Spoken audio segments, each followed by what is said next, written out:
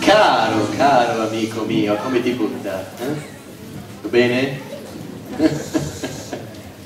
allora cosa ci raccontiamo questa sera? Come va fanciulle? Tutto bene? Sono contento, mi fa piacere. Roger, sempre con questa faccia. Ma eh, non dovrebbe arrivare qualcuno?